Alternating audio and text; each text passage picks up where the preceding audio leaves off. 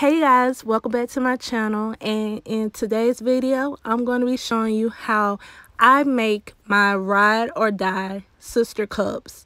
Now these cups can be made for your sisters, it could be made for your, you know, your friends or anything like that. It could be a gift or just because gift, but I think they're really, really cute. So this is the leopard print version of the sister ride or die cups. Stay tuned. Hey, welcome back to my channel, Younyq World. And if you are new, please make sure you like, comment, and subscribe to my channel. Okay, so the first thing you want to do is remove your labels and stickers if you have any. Um, I actually got this from um, Walmart, uh, about $6. These are called wine tumblers. Um, so um, just make sure you remove all decals. Now you're going to want to sand your uh, wine tumbler down um, and make sure that it has a nice little grip to it. And you're going to apply some alcohol onto the surface to clean the wine tumbler. Now, uh, what I use is to tape my wine tumbler or any tumbler that I do um, is electrical tape. Um, I think it works better than the painter's tape because it doesn't leave any room for it to um like leave any like paint marks or it just doesn't bleed through um easily so i like to use painters not painters tape but um electrical tape now that i'm outside i'm going to grab my metallic Rust-Oleum spray paint and I'm going to spray my tumblers down with an even nice coat. Um, make sure that you're not too close to your cups because it will um, run down your cup. So you want to be at a good distance when you're spray painting. Now 15 minutes later, I let it dry and now I'm going to use the Rust-Oleum Semi-Gloss Clear uh, Spray um, it doesn't have to be semi, it could be gloss, but you're going to use this to protect the paint. So I did wait about 15 minutes for the clear um, spray to um, dry. And um, now I'm just going to remove the tape. And I did lightly um, wash the cup off with um, just some water just to make sure that it's um, clean. And now I'm going to grab my permanent vinyl leopard print. I already used my Cricut to um, print the leopard print. And um, I'm just going to stick them on to the wine uh, tumbler.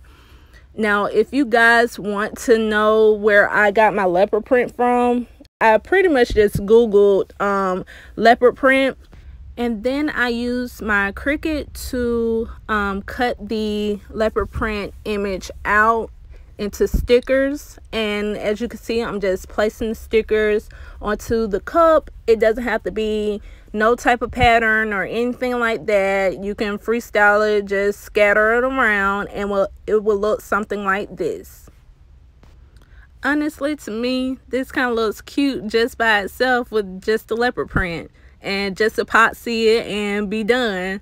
Um, but since this is for a customer um, they want the um, sisters and the image on the cup. So um, that's why I'm just going to go ahead and tape the cup off um, and I'm recycling. I'm using the same um, electric tape that I used when I spray painted the cup. And I'm just gonna retape that electric tape onto the tumbler just like this Oh, also, by the way, um, when I do retape, I try to leave a tiny little gap in between the electric tape and the um, tumbler paint. I also use etching cream to do a leopard print cup as well. If you're interested, I'll leave that in the description down below and above in the video. This is what we have for our two tumblers. Again, just just letting y'all know. Make sure y'all retape your tumbler before you epoxy. Just make sure. Okay so now you're gonna get your cup turner and I'll leave all the materials that I use for this um, project in the description down below. Um, but you're gonna want to make sure you use your cup turner and um, turn it in a direction that um, makes it more comfortable for you um, as you're spreading the epoxy onto the tumbler. And I apologize because my hands are in the way of the camera. But you're going to want to make sure you put enough of epoxy onto the cup um, to cover these tumblers. And I actually use a medicine cup. And I measured um, 5 ml of part A and 5 ml of part B. And I'm just um, making sure that, you know, it's all covered. And I give it a second and I'm going to use my um, Arts and Craft uh, dryer. And I'm going to pop any bubbles that I see on the tumbler. Make sure that you don't do it too long or make the epoxy drip. Okay, so here is what your cup should look like after it has been dried. And I let mine dry overnight. Uh, so that was about maybe, what, eight hours. Now you're going to grab your customizable um, sisters um, and place them on the tumbler. Um, you can, I customize this uh, for uh, my customers with their um, sister's name on the cup. So, um, you can Google the image and find like a few sister images um, linked together. Um, and what I did was I placed or typed the names in on their shirts so that um, her sister's name would be um, on the shirts. And as you can see, I'm struggling here because um, once you lay that sticker down, um, that's it and um, you don't want the you know the sisters or the image to be um, crooked. I think I could have went slightly bigger on the um, image for the girls but um, you know when you're working with a round surface and your image is a lot bigger then um, it can uh, cause some issues with um, the image um, not laying down correctly.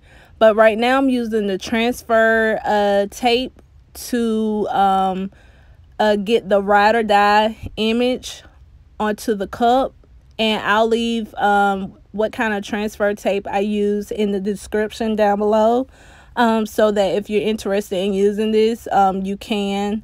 Um, but I put the permanent vinyl image and um, just place it onto the cup just like this. And I'm going to remove the transfer tape. So that's what we have. And then I'm going to grab the heart and I'm just going to tape that down with the transfer tape that I use for the white permanent vinyl. And I'm going to place the heart right on top of the image. And so it looks like this now you're going to retape um, your tumbler um, because you're going to have to put another coat of epoxy on top of your um, permanent vinyl. You can leave it like this, but I wouldn't um, because it would give it a more glass look if you epoxy it again. So I like the gloss look. So right here, I'm going to apply the epoxy and you're going to put another um, layer of epoxy on top of your images and make sure you do it evenly. Um, I'm using a silicone brush. Again, if you guys are interested in purchasing all the items that I use, uh, again, that will be in the description down below. Um, but I let it dry after I put the epoxy on, and this is the final cup. Um, so it's really, really nice, shiny glass look. Um, definitely a great gift to give to your sisters. Um, I placed a lid on it just so you guys can see um, how the cup actually looks. Definitely make sure you guys like, comment, share, and subscribe so that you do not miss another tutorial from Younyq World and um, let me know how, how do you guys like these cups? Because i know my customers really really really love these. Um, but again thank you so much for watching and until next time peace